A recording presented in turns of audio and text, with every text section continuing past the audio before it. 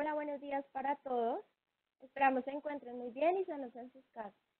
Queremos agradecer a todas las personas por conectarse y acompañarnos en nuestro webinar PwC. El día de hoy vamos a hablar sobre las implicaciones tributarias, aduaneras y legales de la extensión de la emergencia sanitaria en Colombia. Estos temas en especial se han vuelto en gran tendencia durante los últimos meses y es por eso en esta sesión nos acompañan expertos idóneos en el tema para ayudarlos a resolver todas sus dudas e inquietudes. Se les presento, ellos son Wilson Herrera, socio de servicios legales, Adriana Incapié, directora de laboral, Rafael Vesca, gerente de cambios, aduanas y comercio exterior, y Javier Blel, director de litigios y resolución de conflictos. Por otro lado, queremos informarles que la sesión de hoy será grabada y posteriormente montada en nuestra página web para que puedan revivir este webinar. También los invitamos a escribir sus preguntas en la caja cuestionario o en el chat para que estas sean respondidas por nuestros expertos. Así que sin más preámbulos, le damos nuevamente la bienvenida a nuestros conferencistas y damos inicio a la sesión. Adelante, Will.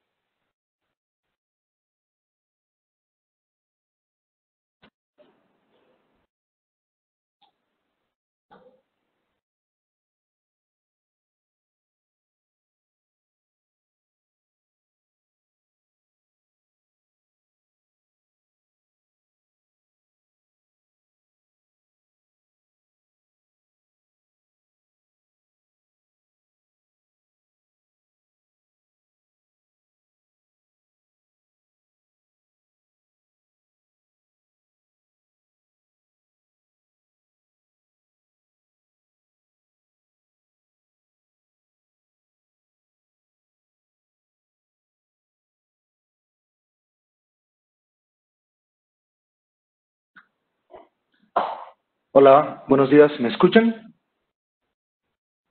Hola Wilson, sí. Hola. Sí, perdonen, que estaba teniendo algunos problemas técnicos. Bueno, nuevamente buenos días a todos. En nombre del equipo eh, legal y tributario de PwC en Colombia, les damos la, bienvenida a este, a este webinar. Eh, para, para, comenzar, quería, quería hacer referencia a un par de temas a modo, a modo de introducción Juan, si te parece, pasa por favor a la, siguiente diapositiva. Vale. Yo, yo quería hacer, hacer referencia a un par de temas a propósito del, del título de este webinar. Eh, y, y, aunque de pronto para muchos de ustedes el, el, tema es claro, a veces, a veces uno todavía se encuentra con algunas, con algunas contradicciones en algunas personas respecto de la diferencia de lo que es una emergencia sanitaria y una emergencia económica. Lo primero que debemos decir a este respecto es que emergencia sanitaria y emergencia económica no son, no son lo mismo, son circunstancias distintas que están reguladas en diferentes partes de nuestro ordenamiento jurídico y que están previstas para situaciones un poco diferentes.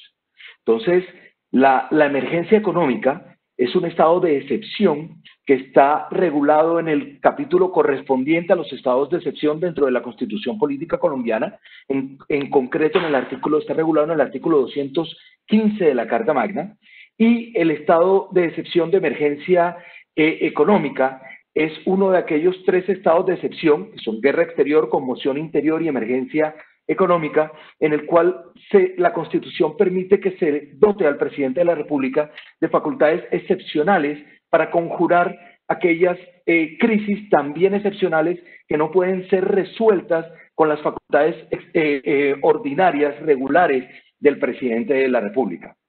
Como ustedes saben, desde que empezó toda esta situación, el presidente de la República junto con todos sus ministros, ha decretado dos emergencias económicas, la primera en el decreto 417 del 17 de marzo y la segunda en el decreto 637 del 6 de mayo de 2020.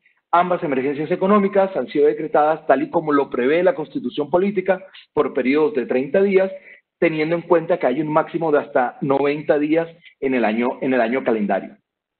Ahora, la emergencia sanitaria, que es un poco a lo que nos vamos a referir en este webinar, es una, una situación un poco distinta. La emergencia sanitaria está prevista en el Decreto Único Reglamentario 780 de 2016 y es, eh, eh, una, eh, es una facultad que se le otorga a las autoridades sanitarias del país para tomar medidas que permitan prevenir o controlar la urgencia de un evento o la existencia de una situación excepcional también que atente contra la salud individual o colectiva. Es decir, son facultades que se le otorgan a las autoridades sanitarias y no son facultades excepcionales para el presidente de la República. De hecho, el mismo Decreto Único Reglamentario 780 de 2016 prevé la posibilidad de decretar una emergencia de este tipo en aquellos casos de epidemias o situaciones de emergencia sanitaria nacional o internacional. Las facultades permitirán a las autoridades sanitarias adoptar medidas urgentes y otras precauciones siempre basadas en, en, principios científicos, las recomendaciones de expertos, etcétera, con el propósito de evitar que se propague la enfermedad o el riesgo. Eh, Juan, si, pasas a la siguiente diapositiva, por favor. Entonces, fíjense ustedes que en desarrollo de estas medidas, eh, de estas facultades que el decreto único 780 le otorga a las autoridades sanitarias, en Colombia se han expedido en este momento tres eh, resoluciones decretando la emergencia sanitaria. La primera de ellas fue eh, en la resolución número 385 del 12 de marzo de 2020, que decretó la emergencia sanitaria hasta el 30 de mayo, y a partir de ese momento hemos tenido dos prórrogas. La primera de ellas, de eh, la que está contenida en la resolución 844 del 26 de mayo, que prorrogó la emergencia sanitaria hasta el 31 de agosto, y la segunda, la contenida en la resolución 1462 del 25 de agosto, que nuevamente, por tercera ocasión, prorrogó la emergencia sanitaria hasta el 30 de noviembre, que es la emergencia sanitaria o la prórroga de emergencia sanitaria en la que estamos incursos en este momento. ¿Vale? Entonces, solo para recapitular, recordemos, una cosa es la emergencia económica, otra cosa es la emergencia sanitaria y los propósitos y facultades que otorgan al gobierno nacional son diferentes en función de que se trate de la una o de la otra. Esto como para introducir un poco el tema y que tengamos un poco claro por qué estamos hablando en este momento de los efectos de la prórroga de esta última emergencia sanitaria. Eh, ya entrando un poco más en materia, debemos decir que eh, en materia legal, pues como ustedes bien conocen, se han emitido eh, muchísimas eh, normas eh, intentando conjurar la crisis en desarrollo de los decretos, pues tanto de emergencia económica como de emergencia sanitaria. en materia legal específicamente hay muchas de estas normas que continúan estando vigentes y que se han dictado mucho más en desarrollo de la emergencia económica que específicamente en lo que tiene que ver con la emergencia sanitaria, como por ejemplo eh, eh, los regímenes eh, que ha creado el gobierno nacional en materia de insolvencia, que son desarrollo de la emergencia económica y que van a seguir vigentes durante dos años hasta el año 2022. Pero en materia específica societaria, esta, esta prórroga tiene, tiene unos, unos efectos bien importantes que tienen que ver con algunas de las primeras normas que se dictaron en, en esta materia. Entonces, si ustedes recuerdan, por allá por marzo de este, de este año, que ya, ya a veces uno, uno lo ve muy lejos, eh, se dictó el decreto 398, en el cual se establecieron algunas medidas tendientes a facilitar la celebración de reuniones ordinarias de las sociedades mercantiles. Recordemos que, de acuerdo con la legislación mercantil, eh, las sociedades colombianas tienen que realizar reuniones ordinarias dentro de los tres primeros meses del año con el propósito de aprobar los estados financieros del ejercicio inmediatamente anterior. Entonces, una de las primeras medidas que se dictó fueron las contenidas en el decreto 398, que pretendía precisamente, dentro del ámbito de la emergencia económica, pero en consideración a la emergencia sanitaria, facilitar la celebración de reuniones no presenciales, es decir, que esas reuniones ordinarias pudieran realizarse mediante el mecanismo alternativo de reuniones virtuales o reuniones no presenciales, con el propósito de qué? De evitar los riesgos de las aglomeraciones propias de este tipo de reuniones. Entonces, básicamente, básicamente lo que hizo este decreto 398 fue permitir que estas reuniones no presenciales se celebraran con el quórum previsto para las reuniones presenciales. Eh, reguló específicamente la posibilidad de, cobijar con estas reglas de quórum también las reuniones mixtas, es decir, aquellas que se celebraran con parte de los accionistas en persona, parte de los accionistas eh, en modo remoto o no presencial, de tal manera que se equilibraron esas reglas eh, de quórum para facilitar la celebración de las reuniones, eh, las reuniones ordinarias por modo no presencial. Y adicionalmente se permitió en ese decreto 398 la posibilidad de cambiar la modalidad de celebración de las reuniones incluso cuando ya hubieran sido convocadas como presenciales. Y en ese momento lo que dijo el gobierno nacional a través de ese decreto fue, señores, si ustedes han convocado ya la reunión ordinaria como presencial, tienen la posibilidad de cambiarlo a una modalidad no presencial, precisamente teniendo en cuenta la situación de emergencia en la que nos encontramos. Ahora, estas normas del 398 y teniendo en cuenta la prórroga de la emergencia sanitaria, tenemos que mirarla eh, eh, en concordancia con otro decreto que fue emitido inmediatamente después. Eh, Juan, ¿podríamos pasar por favor a la siguiente, a la siguiente diapositiva? El decreto 434 del 19 de marzo se refirió también el tema y básicamente lo que dijo es que las reuniones ordinarias podían ser celebradas hasta dentro del mes siguiente a la finalización de la emergencia sanitaria declarada en el territorio nacional. ¿Esto qué significa, qué significa en la práctica y teniendo en cuenta las tres prórrogas a la emergencia sanitaria que hemos tenido? Pues esto principalmente lo que significa es que hoy en día tenemos muchas sociedades que aún en este momento no han celebrado su reunión ordinaria por diferentes motivos, porque el, el, decreto 434, como les digo, les faculta a celebrar esa reunión ordinaria no dentro de los tres meses que estaban inicialmente previstos, sino hasta, hasta dentro del mes siguiente a la fecha en que finalice la emergencia sanitaria. En este momento, ¿eso qué quiere decir? Que ese plazo para celebrar las reuniones ordinarias ha sido extendido hasta para que sean celebradas hasta dentro del mes de diciembre, teniendo en cuenta que esta última emergencia sanitaria fue prorrogada hasta el 30 de noviembre. Entonces, repito, efecto concreto de la prórroga de la emergencia sanitaria, que las reuniones ordinarias podrán ser celebradas por aquellas sociedades que aún no lo hayan hecho hasta dentro del mes de diciembre.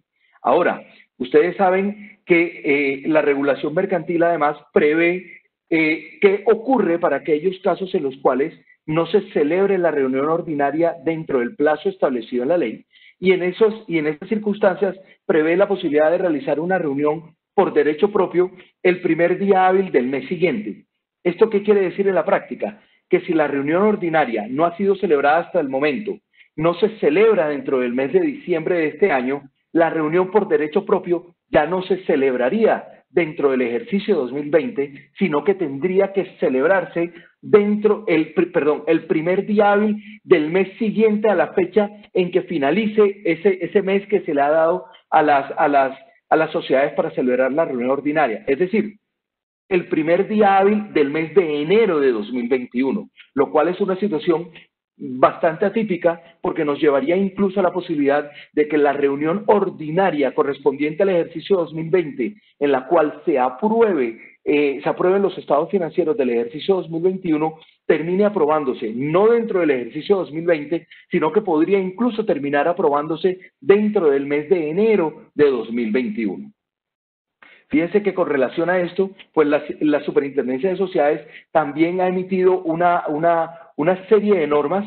Eh, quisiera, quisiera hacer referencia en concreto a una, a una de ellas, que es eh, la, perdón, que es la circular, la circular 004 eh, del 24 de marzo de 2020, en el cual la Superintendencia de Sociedades hizo algunas aclaraciones con relación al ámbito de aplicación de este, de este decreto y básicamente lo que, lo que reguló, lo que dijo la superintendencia en ese momento o aclaró la superintendencia fue que fueron tres casos en, particular. ¿Qué sucedía con aquellas sociedades que no hubieran, al momento de, la expedición del decreto 434, no hubieran convocado todavía la reunión? Pues se podrán, eh, podrán utilizar el plazo previsto en el artículo 434 para convocar y celebrar la reunión, es decir, dentro del mes siguiente a la fecha en que termine la emergencia sanitaria. Ahora, si resulta que se había convocado, pero que por motivos relacionados con la emergencia no se habían podido celebrar esas reuniones, pues igualmente lo que podrían es realizar una nueva convocatoria para que fuera celebrada la reunión dentro del mes siguiente a la finalización de la emergencia, de la emergencia sanitaria. Y por último, ¿qué pasa si, si se había eh, convocado, pero independientemente de las circunstancias se quería hacer uso del plazo establecido en el 434? Pues igual se le podía informar a los accionistas el cambio de fecha e igual esas reuniones se podían celebrar dentro del mes siguiente a la fecha en la cual finalice la emergencia sanitaria.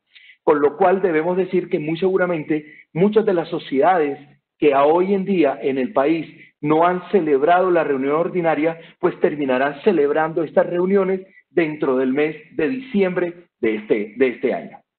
¿Vale? Perfecto. Con esto, con esto termino eh, mi, mi, explicación y le doy paso a Adriana eh, para que nos hable de las implicaciones laborales. Gracias, Wilson. Eh, ¿Me escuchan? Sí.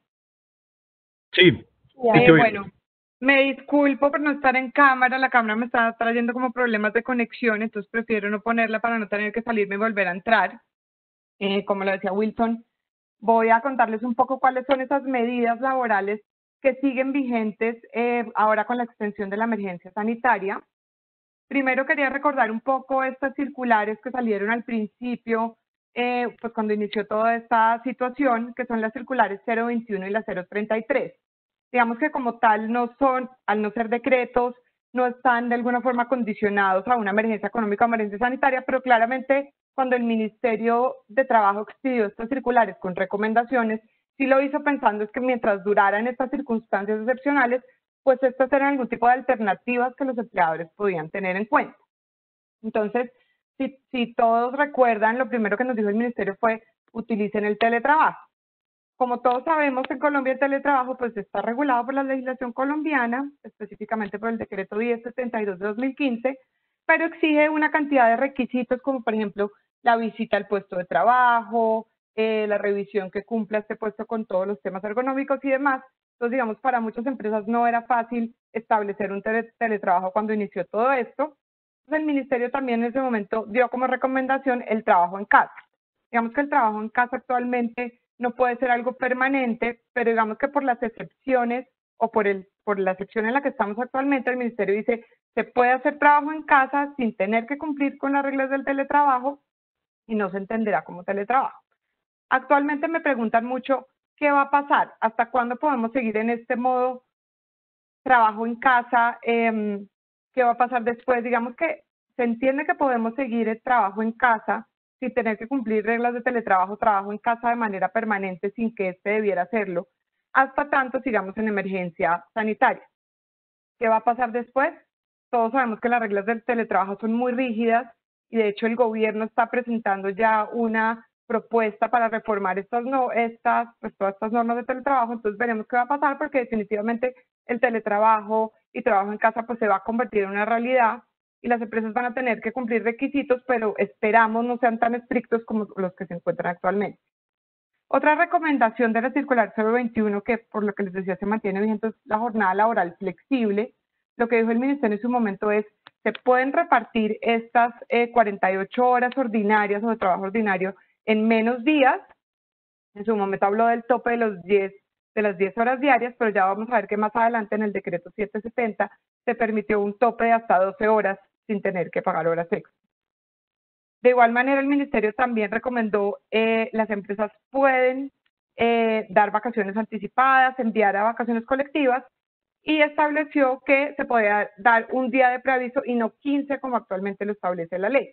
Vamos a ver que eso también después quedó en el, en el decreto 448. Por último, en el circular 021, el Ministerio de Trabajo también dijo, intenten o prueben la posibilidad de dar permisos remunerados o la prestación de, de o sin, no prestación de servicio con el pago de salario. Posteriormente salió la circular 033, que como, les, digo, como les digo, sus recomendaciones se encuentran vigentes, y es la donde nos dice el ministerio, intenten licencias remuneradas compensables. Digamos que ahora como ya la mayoría de industrias están abiertas, pues ya este acuerdo se limita mucho, pero digamos, sí hubo muchas empresas que en su momento hicieron acuerdos de dar licencias remuneradas en donde después se compensaban las horas. Actualmente estamos ya compensando horas con la mayoría. Em, también está abierta la posibilidad de modificar la jornada y consecuentemente, consecuentemente el, salario. Es decir, yo puedo, y todo esto por mutuo acuerdo, acordar con mi trabajador que la jornada que era de 48 horas ahora va a ser de 20 y en esa medida pues tu salario va a quedar acorde con esa nueva, em, con esa nueva jornada. Me preguntan mucho si eso se puede hacer unilateralmente mientras estamos en emergencia sanitaria. La respuesta es no el Ministerio ha sido muy enfático en decir que para esto tenemos que lograr acuerdos con los trabajadores. Creo que igual los acuerdos se logran porque pues creo que todos sabemos eh, o todos entendemos en qué situación eh, nos encontramos ahora.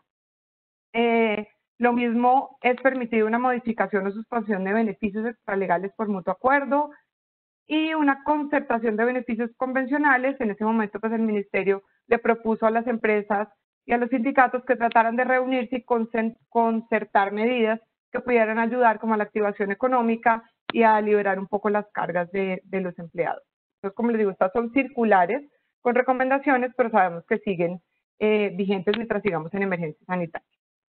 Em, ahora vamos a hablar de las medidas que se tomaron en su momento en el decreto 488 lo que decía ese decreto es que hasta tanto permanezcan los hechos que dieron origen a la emergencia económica, social y ecológica, el trabajador que presente o, pues, que, al que se le haya disminuido, digamos, su ingreso mensual, estos, estos acuerdos, digamos, de salario, podrá retirar cada mes de su cuenta de cesantías el monto que le permita compensar esa diferencia. Entonces, si yo tenía un salario de 100 y llegué a un acuerdo con mi empleador para que el salario fuera 70, si el empleador me certifica esa diferencia de 30, pues yo voy a poder cada mes ir a mi fondo de cesantías y retirar la diferencia.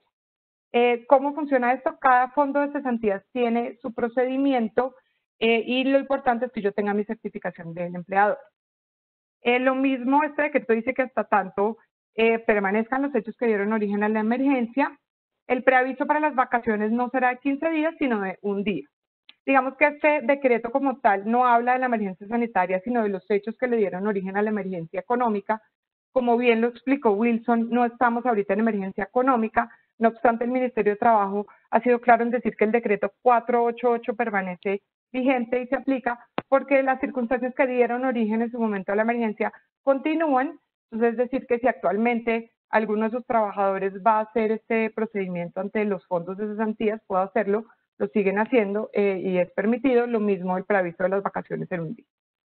Em, después seguimos con el decreto 538. El decreto 538, o lo más importante que trajo este decreto, em, es que hasta tanto dure la emergencia sanitaria, y este sí eh, hablo específicamente de la emergencia sanitaria, hasta un mes después de su terminación, en este caso sería el mes de diciembre, no se causarán intereses moratorios por el pago eh, tardío o por el pago extemporáneo de aportes al sistema integral de seguridad social y para fiscales. Eso quiere decir que pues, las empresas que han tenido que pagar tarde durante este periodo o que no han pagado actualmente tienen hasta diciembre para realizar los pagos sin que se genere eh, interés moratorio alguno. Eh, posteriormente, pues hablemos de las medidas que siguen vigentes del decreto 770 de 2020. El decreto 770 de 2020 estableció que las partes podían llegar a un acuerdo sobre la jornada especial de 36 horas. Esta jornada, eh, pues, trata de que las partes pueden definir turnos sucesivos de trabajo que les permitan operar sin solución de continuidad, que no superen 8 horas diarias y 36 a la semana. Y lo que trae esto es que no hay que pagar, digamos, horas extras eh, ni recargos. Y lo que dice el decreto es, no voy a tener que incluir en el reglamento interno de trabajo, que era lo que pasaba antes, y cada vez que yo quería establecer una jornada especial, tenía que incluirlo en el, el reglamento interno de trabajo, nos dice el decreto, mientras dure, digamos, este estado, eh, que es excepcional, pues van a poder hacerlo sin tener que modificar su, su, reglamento interno de trabajo. Eh, de igual forma, y como les decía antes, hay, bueno, no importa, eh, de igual forma el 770 también establecía que la jornada máxima de trabajo, la jornada ordinaria de 48 horas, y de esto para evitar aglomeraciones y demás de personas, podía eh, repartirse en cuatro días por un máximo de 12 horas. Y miren que la ley actualmente solamente nos deja un máximo de 10. Acá dice podemos tener un máximo de 12 horas repartidas en menos días a la semana sin tener que pagar, digamos, unas horas extra. No obstante, los recargos sí deben pagar. el 770 que estaba en el, en el slide anterior, tiene que hacerse las dos cosas por mutuo acuerdo, pero no nos obliga hacer algún tipo de cambio en el reglamento interno de trabajo. Se mantiene todavía el auxilio de conectividad. ¿Qué pasa con el auxilio de conectividad? El auxilio de conectividad es el reemplazo de alguna manera del auxilio de movilidad de aquellas personas que ganan, eh, el auxilio de transporte, perdón, de aquellas personas que ganan hasta dos salarios mínimos legales mensuales vigentes y que ya nos están transportando a su casa. Entonces, ¿qué nos dice el decreto 771-2020? Dice que mientras dure la emergencia sanitaria, el empleador deberá reconocer el valor del auxilio de transporte. Eh, el auxilio de transporte actualmente es de 102.858 pesos eh, como auxilio de conectividad. Eh, aquellos trabajadores pues, que tenían derecho al auxilio legal de transporte y que se encuentran trabajando desde casa. ¿Qué pasa si yo ya estoy yendo a mi oficina? Pues claramente me van a reconocer el auxilio legal de transporte y no el de conectividad. Estos dos auxilios no son, em, pues no se pagan al mismo tiempo, o sea, son excluyentes. O pago uno o pago el otro, eh, pero, pero, pero pues no voy a tener que reconocer ambos. Solamente será para aquellos trabajadores que tenían derecho al auxilio de transporte y ahora le doy ese auxilio de conectividad por estar trabajando en casa. Eh, ahora hablemos de la resolución 385 de la UGPP. Eh, la UGPP eh, a través de esta resolución suspendió los términos administrativos respecto de sus procesos de determinación y sancionatorios. Es decir, que si a mí me llegó, por ejemplo, un pliego de cargos o un requerimiento para declarar o corregir a finales de febrero o em, pues todo esto se suspenderá hasta tanto se termine la emergencia sanitaria. ¿Cuáles procesos no se suspenden? Los procesos de cobro eh, coactivo. Entonces, me lo han preguntado mucho y es importante tener en cuenta que el proceso de cobro coactivo seguirá. Entonces, si hay alguna deuda con la UGPP, esta va a cumplir pues, todos los pasos del proceso de cobro coactivo hasta llegar a lograr el pago de la deuda. Los términos se reanudan el día hábil siguiente a la terminación de la emergencia sanitaria. En este caso, los términos se reanudarían el primero de diciembre de 2020. Y por último, eh, tenemos la resolución 1294 del Ministerio de Trabajo, que, que mediante la cual establecieron que se reanudaban los términos de la mayoría de, de procesos que maneja el Ministerio, pero mantuvo la suspensión de todos aquellos que requirieran eh, la atención al ciudadano de manera presencial, como por ejemplo podemos hablar, digamos, de las conciliaciones. Em, creo que esto es todo en temas laborales. Muchísimas gracias. Le doy la palabra ahora a Rafael Vesca.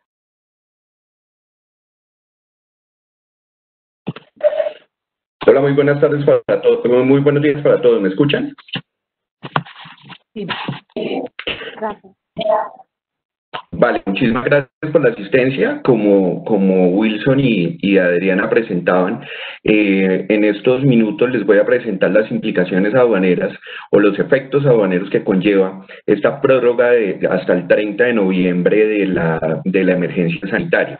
En materia aduanera, como ustedes saben, han, venido o, durante esta emergencia han sucedido diferentes cambios, los cuales han traído suspensiones, después eh, interrupciones parciales de las suspensiones que se habían dado desde un principio. Y a hoy lo que vamos a hacer o vamos a ver un pequeño recuento de lo que en este momento está vigente o estaba condicionado o está condicionado a la emergencia sanitaria en virtud de la emergencia sanitaria y lo que a hoy se mantiene como, como excepción eh, en virtud de, de, pues de la pandemia generada por el COVID-19. Eh, lo primero que tenemos es el decreto 881 del 2020, en el cual principalmente se mantienen dos, dos, se mantienen dos, dos beneficios. El primero como medida transitoria de la no exigencia de garantías globales en la, de garantías, perdón, en las entregas urgentes para todos los bienes contenidos en los decretos 410 y 463 del 2020. Recordemos que el decreto 410 y el 463 del 2020 son los que desgraban en arancel, en la importación de arancel, eh, insumos y, y productos médicos y productos para la atención, prevención y, mitigación del COVID-19.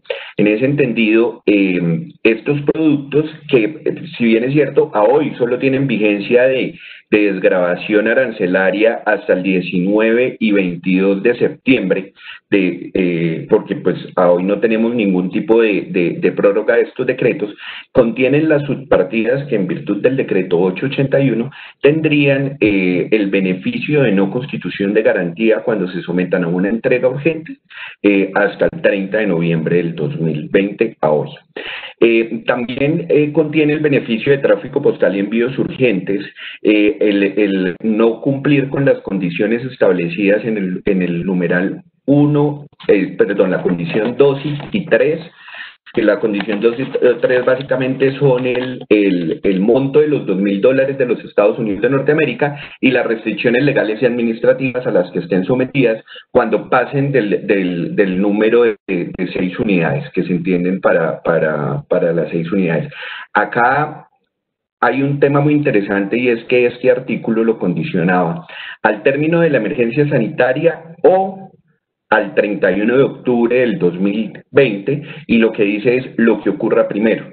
En ese orden de ideas, a como está definido está redactado este, este, este parágrafo de los envíos urgentes, este artículo de modificación de los envíos urgentes, tendríamos que hasta el 31 de octubre eh, se podría obtener este beneficio en, el, en, la, en someter a la modalidad de tráfico postal y envíos urgentes los bienes contenidos en el anexo 1 de la resolución 457.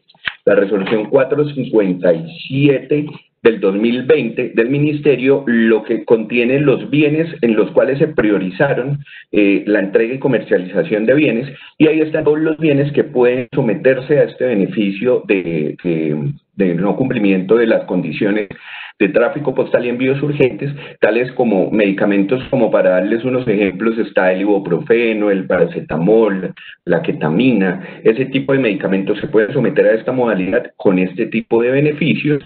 Y bienes como el jabón eh, antiséptico, el gel antibacterial, manufacturas para la atención polainas, tapabocas, eh, batas desechables, gorros, este tipo de bienes, papel higiénico, todo este tipo de bienes que en su momento se definieron en el Hecho 1 eh, hasta el 31 de octubre, según la definición que hay en el, en el, en el decreto 881, estarían exentos de acreditar en la modalidad de tráfico postal de envíos urgentes eh, las dos características que les digo, el monto y las condiciones o restricciones administrativas. También tenemos que el decreto 551 del 2020, que es el que, el que eh, pues, otorga a 211 productos el beneficio de exención de IVA, eh, en su artículo 1 estaba condicionado o está condicionado al tiempo de permanencia o al tiempo de duración de la emergencia sanitaria. En este orden de ideas, también todos los efectos de este decreto, tal cual como está el 551 del 2020, se mantienen hasta el 30 de noviembre del 2020. Eh, en ese orden de ideas, todas las importaciones, ventas y entregas de los productos deben realizarse dentro de este término establecido, dentro del término establecido por la norma, para que continúe o para que se pueda otorgar, o se le pueda otorgar el beneficio de exención eh, del IVA, recordando que se deben cumplir los, los, las condiciones, en la venta colocar el, el escrito de productos exentos de IVA de acuerdo al artículo 4, eh, al decreto 417, eh, hacer la presentación de los informes mensuales los cinco primeros días hábiles siguientes al mes al que se va a presentar tanto importación como exportación y los temas de, eh, perdón, de importación como venta y también los temas de eh, eh, la entrega dentro del, dentro, del, dentro del periodo, la entrega de los que se da la venta y el tema de la importación también, o sea, obtener el levante antes de ese 30 de noviembre. Ha tenido muchos conceptos este 551, mucha interpretación por parte de las autoridades. Entonces ya saben que el, para otorgar el beneficio tiene que ser un beneficio restrictivo, o sea, se tiene que demostrar en un control posterior, en, en un eventual control posterior se tiene que demostrar la trazabilidad y la, el, el nexo causal entre el producto y los, los, los, pues, las funciones de prevención, mitigación y, y control del COVID-19 y asimismo se tiene que dar la importación como un evento, primer evento del IVA dentro del término de la emergencia sanitaria y la venta y entrega dentro del mismo término. Entonces, eh, las, en los mismos términos continúa el 551 hasta el 30 de noviembre. También tenemos que la resolución 062 del 2020 estaba condicionada o tenía condicionadas ciertas interrupciones de términos. Recordemos que todos los términos de procedimiento administrativo aduanero se, eh, reanudaron el 2 de junio del 2020, pero esa resolución 062 dejó condicionada eh, al término de la emergencia sanitaria ciertos la interrupción de ciertos términos. ¿Cuál es el almacenamiento de las mercancías? El término de almacenamiento de mercancías se encuentra en este momento suspendido y hasta el 30 de noviembre. La permanencia de la mercancía bajo la modalidad de importación temporal para reexportación en el mismo estado que hayan cumplido dentro del término de la emergencia sanitaria eh, se encuentran suspendidas también. Eh, los términos para solicitudes de aprobación o inscripción a habilitaciones de OEA, por ejemplo, para, para mencionar un ejemplo, pero acá se ha condicionado siempre y cuando sea por solicitud del interesado que solicite o, presente de manera eh, expresa ante la dirección seccional correspondiente que no puede dar respuesta a los requerimientos o no puede atender la visita en virtud de la emergencia sanitaria. O sea, no puede cumplir con los requisitos que se le están exigiendo dentro del trámite en el, en el, dentro de la emergencia sanitaria. El término para las pérdidas y autorizaciones, eh, cualquier término eh, pérdida de calificación o autorización también está suspendido. El término para resolver competencias de recursos eh, de recursos de competencia de las divisiones de gestión jurídica, siempre y cuando el interesado, nuevamente volvemos a, esa, a solicitud expresa, presente que no puede eh, eh, aportar las pruebas necesarias o, dar respuesta a los requerimientos necesarios para que la división de gestión jurídica dé esta respuesta por temas de, del COVID-19. Eh, los de verificación de origen también, clasificación arancelaria, ajustes de valor, todos estos también de manera expresa se tiene que informar o se tiene que avisar que a, la, a, la, división competente que por los temas del COVID, eh, por favor le suspendan el procedimiento hasta tanto no se reanude, eh, no, no se, se termine la emergencia sanitaria. Y la sanción y clausura de establecimiento eh, de, establecimiento comercial que trata el estatuto tributario cuando se cometen infracciones aduaneras, eh, también se encuentra suspendido ese procedimiento eh, hasta tanto no se supere la emergencia sanitaria. Continuamos. Eh, Juan, por favor.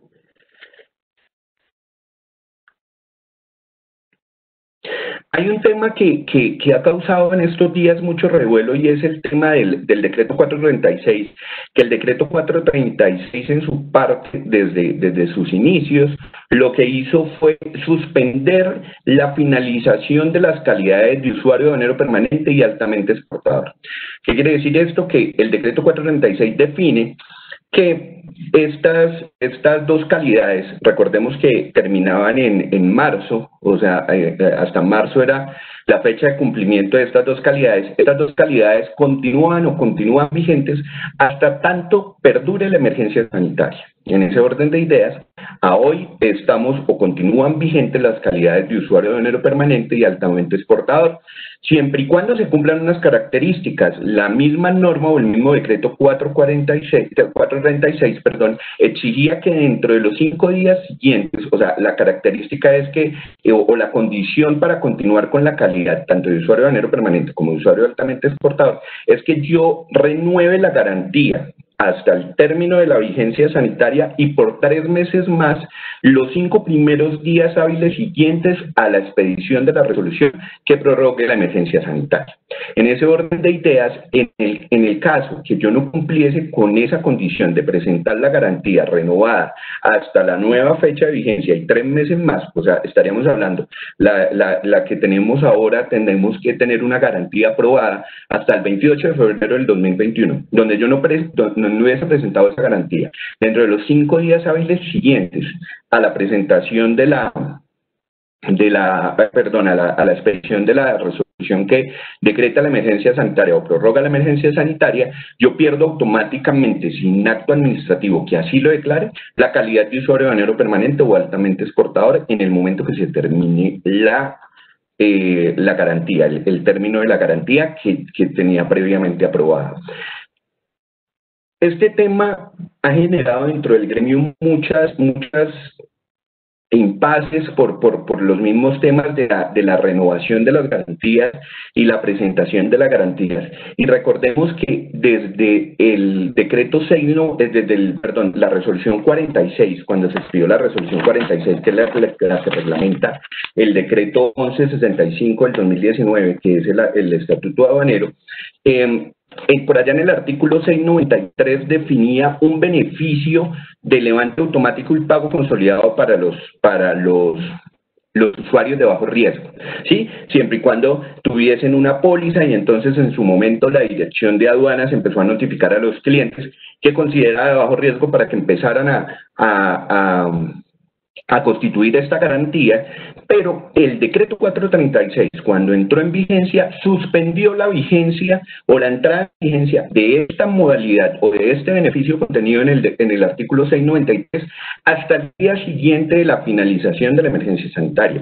Entonces, si vemos en este orden de ideas, eh, de acuerdo al, al, decreto 436 del 2020, eh, se encuentra congelado el beneficio que, se, contenido en el artículo 693 del, de la resolución 46. Sin embargo, el primero de septiembre se expide un decreto que es el decreto 1206 del 2020.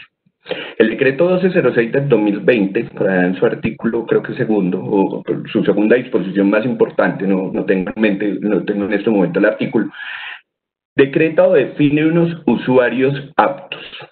¿Qué son los usuarios aptos? Los usuarios aptos, según dice el mismo decreto, son las compañías que tengan perfil de riesgo bajo, podrán realizar o podrán obtener el beneficio de pago consolidado y levante automático de las, de las, cargas presentadas, siempre y cuando tengan una garantía que es, si la ven, es similar o igual a la garantía que se tenía que constituir o se tiene que constituir para obtener el beneficio de 693 que es el 1% del valor FOB de las importaciones, el 2% del FOB de las exportaciones durante los últimos 12 meses inmediatamente anteriores a la, presentación de la, garantía. Este decreto lo que condiciona o lo que permite es que esos usuarios que perdieron la calidad de usuario de enero permanente opten por tener esta calidad de usuario apto a partir de, empieza a regir el 16 de septiembre, porque son 15 días comunes siguientes a la expedición y este decreto es del 1 de septiembre. Entonces, en ese orden de ideas, la DIAN todavía no se ha pronunciado si va a mantener las condiciones de la póliza que ya se expidió en virtud del 693 o si va a requerir algún tipo de ajuste a esa póliza, porque el mismo artículo 12, 1206 eh, dice que los que ya hayan expedido la garantía, la, la garantía del 693, eh, pueden, pueden simplemente modificar las vigencias de la garantía y esa, y esa garantía puede ser aprobada. A hoy la DIAN no ha manifestado ningún tipo de de posición o solicitud sobre esta aprobación de la garantía, pero entonces las personas que en virtud del 436, las compañías que en virtud del 436 perdieron por una renovación o por, por no presentar la renovación dentro de los términos de este decreto, eh, la calidad de usuario de enero permanente, si son considerados de riesgo bajo, podrán seguir o continuar con las calidades en virtud del decreto 1206 del 2020 como usuarios aptos que es la denominación, la denominación que se le da en virtud de este decreto. Retos para la aduana, no se sabe en el momento que termine el, la, emergencia sanitaria qué vaya a pasar o cómo vaya a ser la transición del usuario de anero permanente al usuario apto o si van a migrar de una vez al, al, al beneficio del 693 y el usuario apto migra al, al, al, al 693 porque en este momento no tenemos ninguna posición como tal definida cómo va a ser ese proceso en, una vez terminemos esta emergencia sanitaria. Los demás beneficios contenidos en el decreto 410, 463, 464, que es la restricción de exportaciones, que recordemos que estaban eh, o están condicionados a seis meses a partir de la vigencia, a hoy, que estamos a menos de 10 días de que finalice esa vigencia, no tenemos todavía prórrogas ni, ni decretos que modifiquen la vigencia de estos mismos. Entonces, una vez tengamos, tengamos conocimiento de algún tipo de modificación de estas vigencias, les estaremos informando. Básicamente, estas son las modificaciones o las implicaciones a tener en cuenta en virtud de, este, de esta prórroga de la emergencia sanitaria en materia aduanera. Muchas gracias.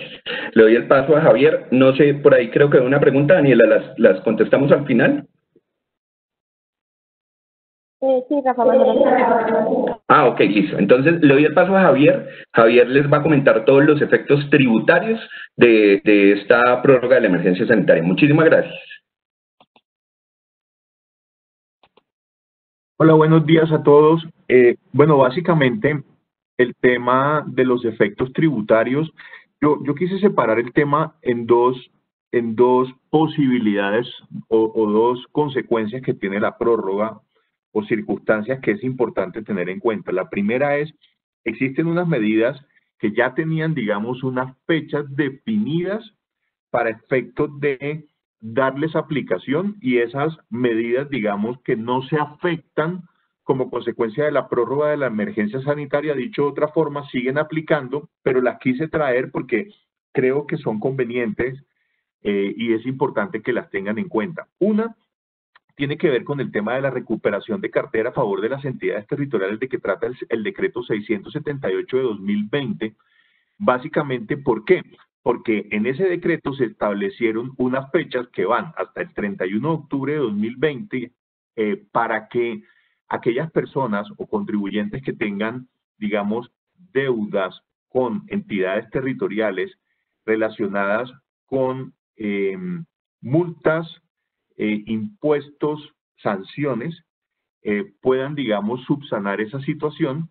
Y la norma entonces lo que prevé es que para efectos de el pago de impuestos de carácter territorial, si yo hago el pago hasta octubre 31 de 2020, deberé pagar el 80% del impuesto. Si hago el pago entre el 1 de noviembre y el 31 de diciembre, eh, pagaré el 90% del valor del impuesto o la multa. Y para el caso de aquellos pagos que se hagan entre el primero de enero y el 31 de mayo de 2021 se pagará el, el 100% del pago del impuesto. ¿Cuál es el beneficio? Además de, digamos, e, el porcentaje que el contribuyente dejará de pagar si al final se acoge al beneficio del 80 o del 90%, además existe una condonación del 100% del monto de las sanciones y de los intereses de mora, entonces e, ese es un beneficio que aplica y, o sigue aplicando mejor sin distinción de la, de la prórroga de la emergencia sanitaria. Sobre el particular, digamos que la, la Dirección de Apoyo Fiscal del Ministerio de Hacienda conceptuó de que esta recuperación de cartera o condonación por, para las entidades territoriales no debía, digamos, ser incorporada a través de una norma local, sino que la norma eh, contenía, digamos, un mandato que debía ser acatado eh, por parte de las entidades territoriales, de manera que no es necesaria la expedición de una ordenanza o acuerdo por parte de los consejos, asambleas, ni de un decreto o resolución por parte de los alcaldes o gobernadores. Eh, sigamos, por favor, Juan. Digamos que sobre, sobre el tema, eh, aquí pregunta Alexandra si es aplicable a cualquier municipio. La respuesta es sí. Lo importante que deben tener en cuenta es eh, si, la, si la, que la obligación sea anterior a la vigencia del, decreto 678. Dicho de otra forma, ejemplo, en este momento yo debo pagar una obligación relacionada con la declaración del impuesto de industria y comercio, presento la declaración y no la pago, pues e, ese no pago, digamos que es posterior a la vigencia del decreto 678, no quedaría cobijado por el beneficio. Entonces, eh, e, esa es la circunstancia que deben tener eh, presente para efectos de la aplicación de la recuperación de cartera. Como les había dicho, aplica para obligaciones pendientes de pago relacionadas con impuestos, tasas, contribuciones y multas. Y digamos que el tema de las multas no son las sanciones, sino multas, por ejemplo, piensen en las multas de tránsito que yo puedo eventualmente adeudar ante, ante un municipio eh, en cualquier lugar de Colombia. Sigamos, Juan, por favor. Digamos eh, que sobre esto, esto lo podemos omitir, digamos, no, no e, e, es un poco el resumen de lo que ya les había comentado. Eh, siguiente slide, por favor. Y el siguiente también. digamos, eh, el, otro beneficio que sigue aplicando eh, sin importar el tema de la prórroga de la emergencia sanitaria tiene que ver con una tasa de interés especial que se estableció a través del decreto 688 de 2020. Esa tasa de interés moratorio transitorio también aplica hasta el 30 de noviembre de 2020. ¿Qué significa? Cuando yo tengo como contribuyente una deuda de carácter tributario, y entonces en esto piensen en aquellas obligaciones que tienen con la, con la Dirección de Impuestos y Aduanas Nacionales, eh, normalmente esas obligaciones que, están pendientes de pago causan intereses de usura menos dos puntos. Entonces, por ejemplo, si la tasa de interés bancario corriente es 20%, no, la tasa de usura es el 1.5 de la tasa de interés bancario corriente, es decir, que la tasa de usura será el 30%. Dicho de otra forma, si es la tasa de usura menos dos puntos en el ejemplo, la tasa normal que yo pago por intereses de mora por mis obligaciones de carácter tributario será del 28. Esta, esta, este beneficio lo que estableció fue eh, disminuir la tasa de interés y entonces los contribuyentes que paguen obligaciones de carácter tributario hasta el 30 de noviembre de 2020 deberán pagar o liquidar intereses de mora utilizando el interés bancario corriente, es decir, no pagarán el 28%, sino el 20%. Ese es un beneficio que aplica para esas obligaciones tributarias que yo pague o bien que acuerde a través de un acuerdo de pago a una facilidad de pago con la administración tributaria. Eh, claramente, digamos, es un beneficio que alivia la caja de los contribuyentes. Y existe, digamos, una norma especial que aplica, digamos, para los sectores de transporte aéreo, eh, comercial, hoteles y actividades culturales, en cuyo caso, digamos, los contribuyentes no van a pagar eh, el interés bancario corriente, sino que pagarán el 50% del interés bancario corriente. En el ejemplo que les acabé de poner, entonces la tasa de interés para esos sectores no será del 20%, sino del 10%. Entonces, ese es un beneficio que aplica sin importar el tema de la prórroga de la emergencia sanitaria. Dicho esto, hay otros beneficios u otras, digamos, normas o circunstancias que sí se prorrogaron con ocasión de la emergencia sanitaria. Digamos, hay una, hay una duda que nosotros hemos querido plantear acá en la presentación que tiene que ver con el tema de la suspensión de términos. Y frente al tema de la suspensión de términos, lo que, lo que les quería decir es que la prórroga de la emergencia sanitaria no incide o impacta con la suspensión de términos administrativos y judiciales. ¿Por qué?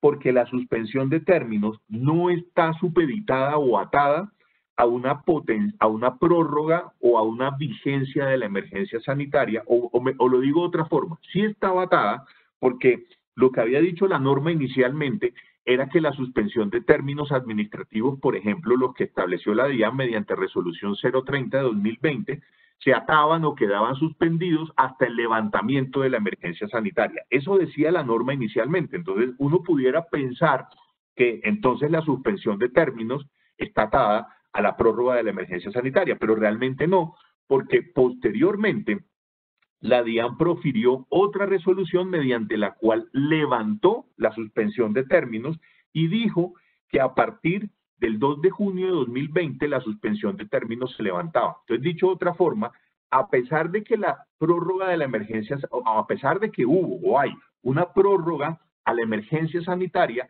esa prórroga de la emergencia sanitaria no impacta la suspensión de términos porque la suspensión de términos, si bien había quedado atada a la vigencia de la emergencia sanitaria, la misma se levantó. Entonces, eso es un tema también relevante para que tengan en cuenta. Eh, y digamos, ya, ya para, para tratar de ir cerrando y terminando mi intervención, digamos que existen cuatro medidas, cinco medidas que sí tienen, digamos, eh, o están, digamos, ligadas al tema de la prórroga de la, de la emergencia sanitaria. Primera medida, si quiere Juan, sigamos con el siguiente slide. Eh, la primera, e, eso es un ejemplo sobre suspensión de términos, digamos, yo creo que no es relevante detenernos sobre el tema, simplemente decirles que como operó la suspensión de términos es que los términos contaban eh, una vez o empezaron a contar o como lo quieran ver, pero una vez entró eh, eh, a regir, digamos, la suspensión, el efecto, digamos, jurídico que tiene la suspensión es que los términos dejan de contar y se reanudan una vez se levanta la suspensión. Dicho de otra forma, la suspensión opera distinto a como opera la interrupción. La interrupción de términos lo que significa es el término que estaba contando eh, para y, se, y vuelve a contar. En el caso de la suspensión, digamos que el término se congela. Los días que se habían eh, causado que habían, se habían contabilizado hasta el momento de la suspensión cuentan y una vez se eh, levanta la suspensión se retoma el conteo de los términos. Eh, siguiente slide, Juan, por favor.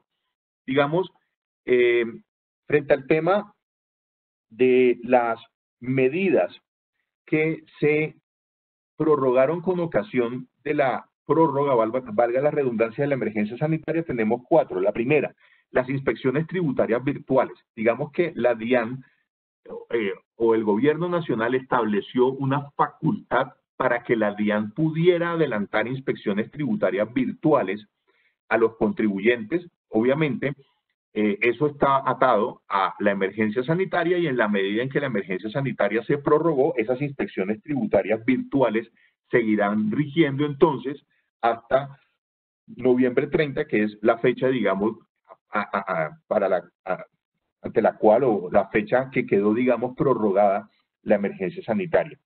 El segundo punto tiene que ver con la relación de costos y gastos en los procesos de devolución. ¿Por qué? Porque la norma que estableció, digamos, el procedimiento abreviado de devoluciones había dicho que los contribuyentes tenían la obligación de presentar la relación de costos y gastos dentro de los 30 días siguientes a eh, la fecha en la que se levantara la emergencia sanitaria. Eh, digamos, como la emergencia sanitaria entonces quedó prorrogada hasta el 30 de noviembre, ¿eso qué significa? Que los contribuyentes van a tener a partir del 1 de diciembre eh, la posibilidad de entregarle a la DIAN esa relación de costos y gastos relacionadas con, con los procesos de devolución.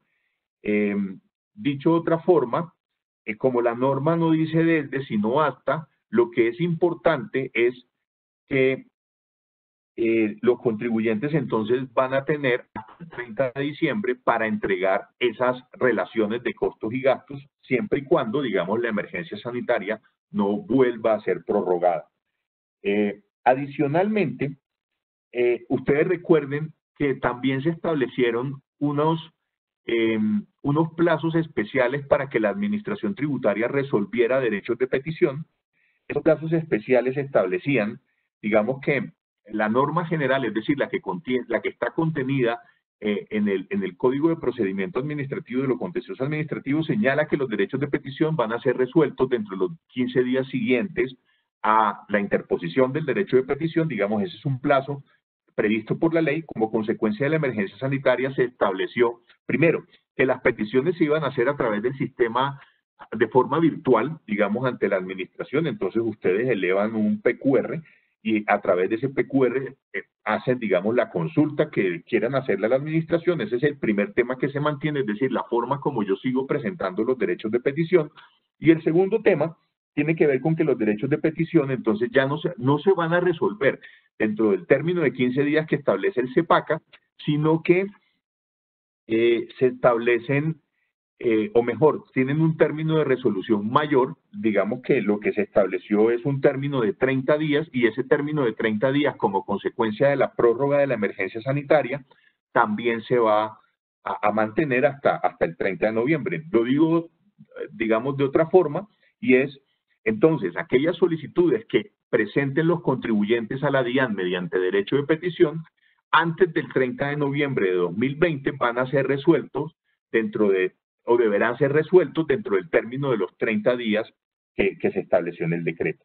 Y por último, digamos que eh, con ocasión de la emergencia sanitaria también se suspendió eh, la sanción por cierre o clausura del establecimiento de comercio. Eh, esa, esa, digamos, esa suspensión de esa sanción también quedó atada a, a la vigencia de la emergencia sanitaria y como la emergencia sanitaria se prorrogó hasta el 30 de noviembre, entonces esa suspensión de la sanción sobre el cierre o clausura del establecimiento de comercio también se va a prorrogar. digamos, e, e, esas, e, esas son un poco las, las medidas que se prorrogaron con ocasión de la emergencia sanitaria. Un poco el último comentario que quería hacerles tiene que ver con el tema de las eh, visitas o inspecciones virtuales y un poco lo que hemos visto en la práctica es que la, actividad de fiscalización de, las autoridades tributarias, no solamente de la DIAN, sino también de las secretarías de Hacienda departamentales y municipales, se ha enfocado básicamente para el caso de las secretarías de Hacienda municipales, eh, eh, digamos que tienen una fiscalización activa relacionada con eh, el tema de la territorialidad del impuesto de industria y comercio. Eso es un tema que se sigue revisando. Y por parte de la DIAN, digamos, digamos, no estoy descubriendo que el agua moja, básicamente las fiscalizaciones se han enfocado en tres temas. Primero, en las devoluciones de saldos a favor, digamos, cuando los contribuyentes han pedido devoluciones de saldos a favor, eh, eso ha sido un tema que la DIAN ha fiscalizado de forma contundente. El otro tema tiene que ver con fiscalizaciones de precios de transferencia. No sé si ustedes han recibido, por ejemplo, muchos, eh, muchas comunicaciones por parte de la DIAN, por ejemplo, donde preguntan cuáles son las operaciones con vinculados económicos, márgenes de rentabilidad, etc. Entonces, digamos que la DIAN sigue enfocando sus actividades de fiscalización a las operaciones entre vinculados económicos y verificando que las mismas cumplan con el régimen de precios de transferencia y que las mismas entonces estén a valores de mercado. El tercer tema, hemos visto, digamos, un incremento importante eh, en las fiscalizaciones de los sectores de hidrocarburos y farmacéuticos, con lo cual digamos que eso también puede denotar que la DIAN a través de esas inspecciones tributarias virtuales está adelantando eh, fiscalizaciones en esos sectores. Básicamente esos eran los comentarios que yo tenía desde la perspectiva tributaria y, la, y el impacto que tuvo entonces el tema de la prórroga de la emergencia sanitaria, digamos un poco terminando el, webinar a las 11 y 4 de la mañana. Fuimos más de 220 participantes. La verdad, les agradecemos mucho su participación. Entiendo que hay preguntas que se van a resolver. Entonces, yo creo, Daniela, que podríamos leer las preguntas y las personas o los panelistas que, digamos, debamos responderlas, con mucho gusto las atendemos. Sí, Javi, eh, digamos que mm, tenemos varias preguntas, pero por tiempo hemos escogido las relevantes aprovechemos que tú estás hablando de la parte tributaria para que nos ayudes a responder esta pregunta que dice, ¿se puede aplicar el decreto 678 a aquellos contribuyentes omisos en ICA 2018? Pero fue aplazado por la alcaldía por no declarar posterior a la emisión del decreto 678. Sí, si entiendo la pregunta es una obligación tributaria que no presenté que correspondía al año grabable 2018, pero que la obligación fue, o el término para declarar fue prorrogado. E, es lo que entiendo la pregunta. Yo pensaría que sí, porque, eh, digamos, lo que, lo que señala el decreto es que las obligaciones que quedan cobijadas por el mismo son aquellas que el contribuyente adeudaba con anterioridad a la entrada en vigencia de la norma. Y, si estamos hablando de una obligación relacionada con el año 2018, ICA, pues claramente el plazo para declarar con independencia de la prórroga es anterior a la, a la vigencia del decreto 678, por, con lo cual pensaría que, que sí quedaría, digamos, esa obligación cobijada con el beneficio. Hay, hay otra que dice la deuda de impuestos nacionales aplican los descuentos del 80%. ¿Cómo se realiza para el procedimiento de pago? Para el caso de los impuestos nacionales, esos impuestos no están cubiertos por el beneficio del artículo 600, perdón, del decreto 678. Entonces, no, no habría la posibilidad de pretender pagar el 80% ejemplo de una retención en la fuente o de un eh,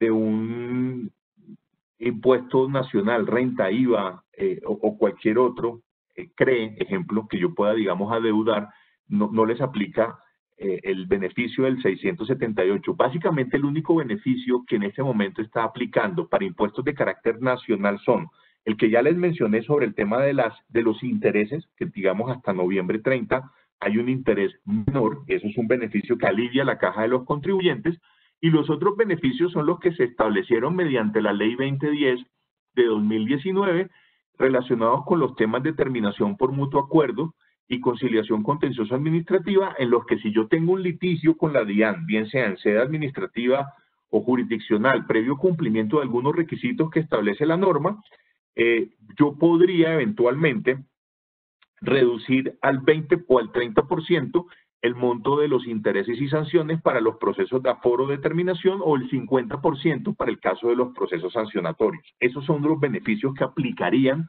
para los procesos, digamos, perdón, para los impuestos de, de los impuestos nacionales. Eh, digamos, e-, esa es la, la, la, respuesta que tendría Daniela a esa pregunta. Muchas gracias, Entonces, eh, pasamos por, con la pregunta laboral. Si quieres, Adri, nos ayudas a responderla. Dice, con respecto a la seguridad social, el no cobro de intereses también aplica para los que cotizan como independientes. Sí, así es, también aplica para los que cotizan como independientes.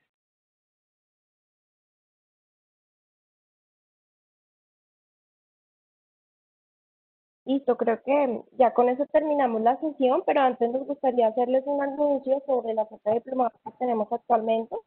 Así que, Vane, te doy el espacio. Gracias, Daniela y todos. Eh, bueno, en esta oportunidad les queremos contar que estamos lanzando la tercera edición del Diplomado en Impuestos, Cambios y Aduanas. Eh, ¿Me escuchan? ¿Me están escuchando? Sí. Sí, sí, adelante. Perfecto.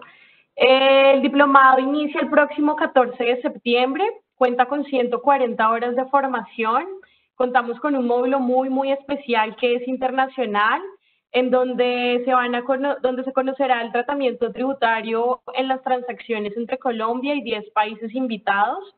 Eh, ustedes tienen la oportunidad de tomar las 140 horas del diplomado o tomarlo de manera modular, dependiendo cuál módulo eh, sea de su interés. La agenda académica del diplomado está compuesta por eh, el módulo de impuestos de renta, personas naturales y jurídicas. Contamos también con un módulo de retención en la fuente, tenemos IVA, impuesto al consumo, facturación electrónica, reorganizaciones empresariales, estado actual de los beneficios fiscales, contamos con un módulo de UGPP, tenemos regímenes especiales, patrimonios de familia, cambios internacionales y régimen aduanero. El diplomado será dictado por las personas eh, que los han venido acompañando a través de estos seminarios, como lo son Carlos Miguel Chaparro, Wilson Herrera, también contaremos con Adrián Incapié. Eh, para inscripciones e, e, información del diplomado con Geraldine Ruiz y Vanessa Piñeros. Vamos a estar muy, muy atentos para apoyarlos. Muchísimas gracias.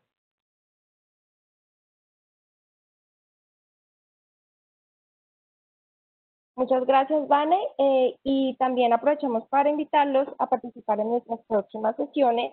Eh, digamos que la siguiente va a ser el miércoles 16 de septiembre. Vamos a tener nuestra séptima edición de la Unidad de Estrategia Familiar y este será un conversatorio sobre la visión de crecimiento de las empresas.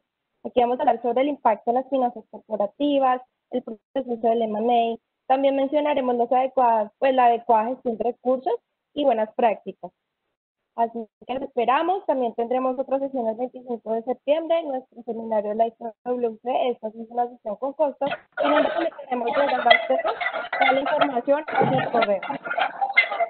Daniela, eh, hay una pregunta que creo que está sin, sin responder de la señora Gloria Ruiz eh, al respecto. ¿Me están escuchando? Sí. Sí. sí. Eh, la señora Gloria pregunta que si cuando para la venta de los productos exentos de que el trata el 551 debo demostrar que mi cliente lo va a utilizar para mitigar el COVID. Eh, eh, hay conceptos o hay diferentes posiciones de la aduana en los cuales manifiestan que no, lo que debe demostrar es el nexo causal y la intención de venta para la que se hizo, cuál es la función o que, que la, función, la, función del bien al que se está adquiriendo, si se puede o, o si cumple con alguna de las, de las perdón, la redundancia, las funciones de mitigación, prevención eh, o, o, contención del COVID-19, pero pues se sale del, del, del, de la del espectro del, cliente que, controle que en efecto su cliente final al cual él se lo vendió exento le dé ese tratamiento netamente porque puede existir, eh, por lo menos si ponemos un ejemplo, un respirador eléctrico, un, un, respirador mecánico, pues puede tener también otras funciones que no solo sean las de la mitigación para el COVID-19, entonces el tratamiento del COVID-19. Entonces, en ese orden de ideas, la, la autoridad lo que define es que mi obligación como, como, como quien está grabando el, el, o quien le está dando el beneficio exento al bien, eh, eh, tenga el conocimiento de que el producto tenga esa función o pueda cumplir esa función en el cliente final.